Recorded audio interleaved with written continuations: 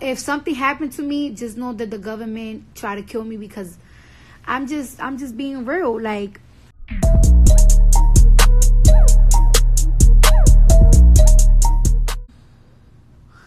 six years, six years to um six years to he turned like 60 and then my mom she got about like 15 more years into no I, i'll say about nine like no no wait like yeah my mom has, is not 50 yet she got about like you know 13 more years so i could deport my parents to the islands because i'm starting to notice something like you know what i'm saying and uh if the if something happened to me just know that the government try to kill me because I'm just I'm just being real. Like like all right, like when my dad turned 60, I am making him move to the Dominican Republic.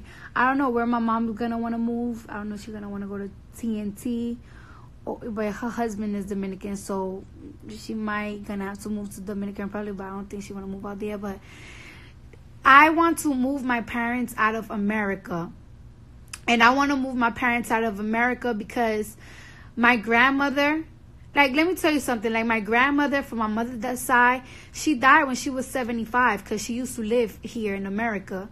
And uh, my grandfather from my mother's side, he died when he was like about 89.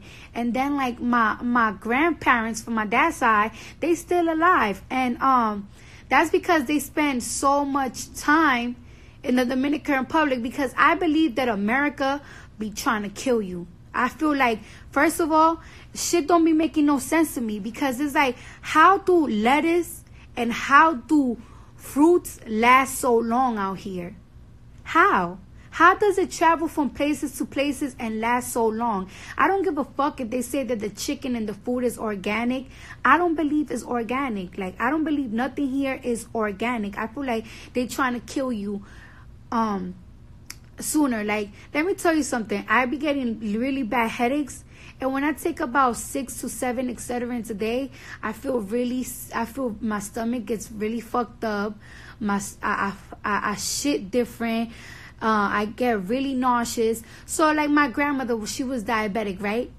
And it's like, I like they used to give her 10 to 12 pills a day. How is that normal? How is that normal to get 10 to 12 pills a day? How how is that normal? Like how can a doctor give you so much um drugs for one day? So that's why I feel like this country just just they be wanting to kill people. So I'm gonna force my parents to move out of here. Like I want my parents to kill a chicken and eat it the same day. I want them to be able to eat a real organic chicken that they raise. I want them to use vegetables that they grew like and that's what i'm gonna do because i don't know what i would do without my parents. Like i, I wouldn't like you know like like you know there's certain things that my parents can help me in. I gotta call my godfather back um in a few. But anyways it's just so many things that I just don't be understanding and I'm and I'm realizing it. And I don't know like I just feel like every the food out here everything out here is artificial like and I just can't. And yeah like that's just all i'm saying. I'm just trying to educate people. Like like look for example so many people in um america they eat so healthy. A lot of people out here is vegan a lot of people out here are vegetarian. A lot of people out here just only eat greens and they still die early out here. Like they still uh, die early. If you go to the, the to the to the to uh, island country, people be 105 years old, 100 and some shit years old, and them motherfuckers could outrun a young nigga. Like they can. Over here, like the people just just they look so scrawny. They look so scrawny.